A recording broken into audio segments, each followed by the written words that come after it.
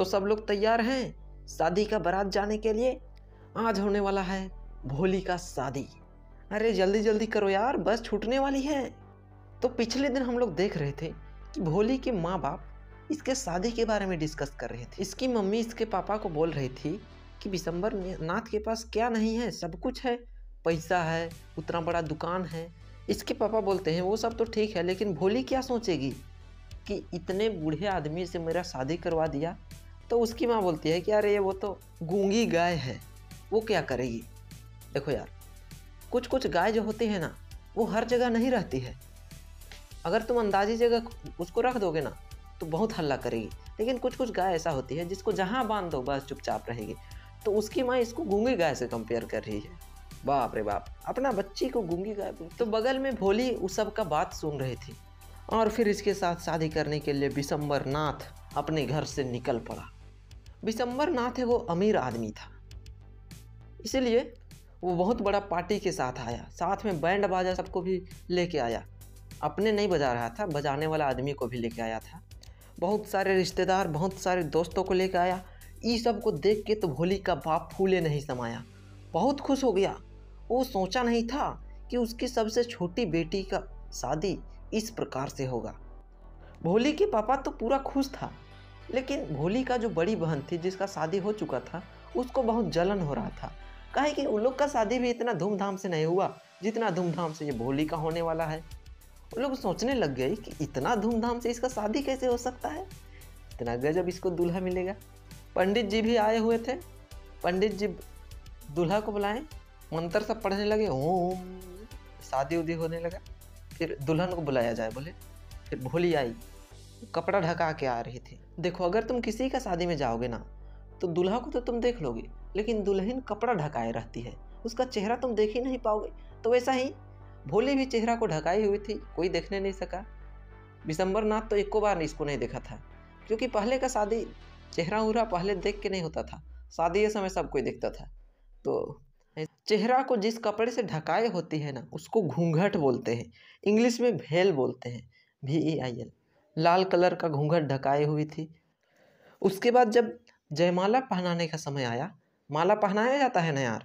तो बस वही, माला पहनाने का टाइम आया। तो फिर पंडित जी ने बोला, माला पहनाओ। विशंबर नाथ माला को पकड़ता है। वो माला गेंदा फूल का था, पीला पीला था, मस्त दिख रहा था। तो जैसे ही वो पहनाने वाला होता है तो चेहरा को थोड़ा सा दिखाया जाता है माला पहनाने समय। तो एक महिला, वो दुल्हन का चेहरा को दिखाने के लिए उसका चुनरी को हटाती है। तो विशंबर नाथ उसका चेहरा को देखता है। देख के तो दंग रह जाता है। उसका हाथ वो माला को पहनाने के लिए आगे बढ़ ही नहीं रहा था, क्योंकि उसका चेहरा में पोक मार्क्स था। दो साल की उम्र में स्मॉल पॉक्स हुआ था ना तो उसी का पोक मार्क्स बन गया था। उसके बाद भोली फिर अपना ओढ़नी को चेहरा में ढक लेती है। फिर विशंबर नाथ बोलता है अपने एगो दोस्त को कि तुमने देखा, इसका चेहरा में पोक मार्क्स है। तो फिर उसका एगो दोस्त बोलता है कि तुम भी तो वैसा जवान नहीं हो, तुम भी तो बूढ़े हो। ठीक है कहा। साला, अपने बूढ़ा है, उसको नहीं देख रहा है। और फिर उसका चेहरा में पोक मार्क्स से उसको देख रहा है। उसके बाद विशंबर नाथ बोलता है कि अगर इसके पापा हमको पाँच हज़ार रुपया देंगे ना, तभी मैं इसका से साथ, शादी करूँगा।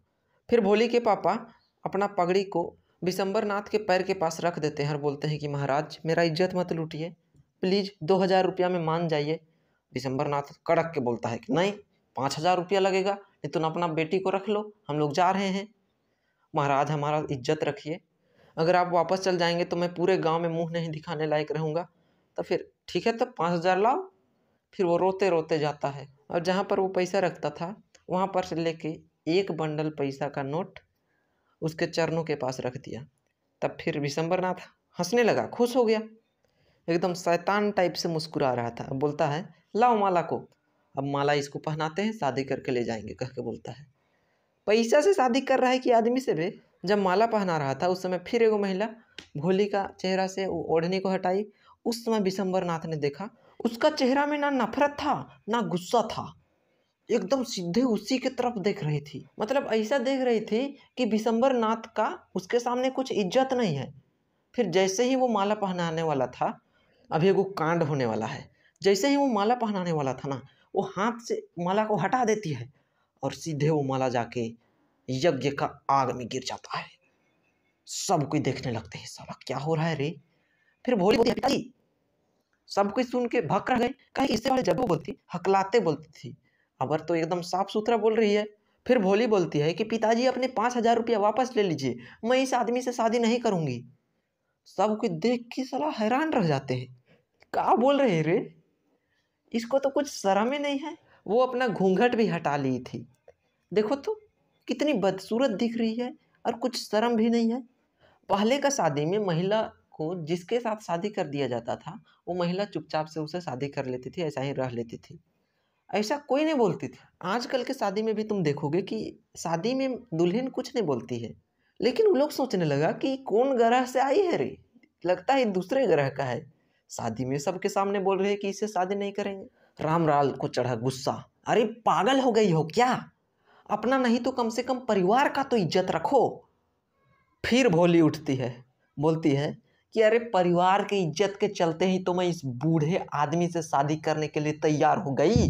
लेकिन बूढ़ा आदमी से शादी करना मतलब ये नहीं कि मैं कि मैं एक लालची, डरपोक आदमी से शादी करूँ। मैं इससे बिल्कुल शादी नहीं करूँगी। क्योंकि फिर वो बोलने लग जाती है। वहाँ पर एक वो आंटी थी, वो आंटी बोलने लगती है कि हम तो हम लोग तो इसको हार्मलेस काऊ समझते थे दम्ब काऊ समझते थे। मतलब गूँगी गाय, थोड़ा देर पहले मैंने बताया था ना हार्मलेस काऊ मतलब ऐसा गाय जो ना सिंह मार सकते हैं, किसी को कुछ तक तकलीफ़ नहीं पहुँचा सकते हैं। अरे हम लोग तो इसको गाय समझे थे, ये तो शेरनी निकल गई। कहता है? हाँ मैं पहले एक गूँगी गाय थी, लेकिन अब ये गूँगी गाय बोलने लग गई है। मैं शादी नहीं करूँगी नहीं करूँगी नहीं करूँगी। और कुछ सुनना है तो बोलिए। बाप रे बाप इतना बोलने के लिए हिम्मत भी चाहिए यार। तुम्हें तो पता होगा कि पहले महिला लोग को पुरुष से नीचे ट्रीट किया जाता था पुरुष से कम समझा जाता था। उस समय इस प्रकार से ये बोल दी समझ सकते हो। उसके बाद सब कोई समझ गया कि शादी उदी तो होने वाला नहीं है वापस जाने लगे। जो बैंड बजाने वाला लोग थे ना वो लोग सोचा कि शादी उदी हो गया है, खाली अब विदाई होके जाना है। विदाई वाला बैंड बजाने लगा बोका लोग। वो लोग को पता नहीं कि लड़ाई झगड़ा हो गया है। फिर भी वो लोग गया बैंड बजाते। धीरे धीरे सब कोई चले गए। वहाँ पर जो आग जल रहा था, वो आग उग सब बुझ गया। उसके बाद भोली का पिताजी बोलते हैं कि अब तुम्हारा क्या होगा? अब तुमसे कोई शादी नहीं करेगा। अब मैं हम हम लोग तुम्हारा क्या करेंगे? तो फिर भोली जवाब देती है कि पिताजी आप टेंशन काहे लेते हैं? No tension all is well all is well मैं जिस स्कूल में पढ़कर इतने सारी चीज़ सीखी हूँ, उसी स्कूल में मैं पढ़ाऊँगी, नौकरी करूँगी और फिर आपके बुढ़ापे में आपको और माँ को सेवा करूँगी। आपकी और माँ की सेवा करूँगी। है ना मैम? कह के बोलती है। भैया, मैम कहाँ से आ गई? यार, ये किनारे खड़ा होके सबका ड्रामा देख रही थी कि क्या क्या चीज़ हो रहा है। तब फिर इसका मैम बोलती है, बिल्कुल बिल्कुल भोली। वो पूरा खुश थी। मुस्कुरा रही थी। जैसे कोई पेंटर अपना मास्टरपीस बनाने के बाद जैसा खुश होता है, वैसा ही भोली की टीचर खुश हो रही थी। क्योंकि तुम्हें तो पता ही है, जब वो स्कूल जा रही थी, उस समय वो कितना डरती थी, लेकिन अब कितना निडर हो चुकी थी। बताओ, अपना शादी हो रहा है। उस समय बीच में बोल उठी, ये इतना निडर कैसे हुई? स्कूल गई, इसलिए हुई। इसलिए भैया, स्कूल जाओ। ये लोग का शादी नहीं हुआ? लेकिन कहानी तो ख़त्म हो गया। चलो बाय मिलते हैं नेक्स्ट क्लास में।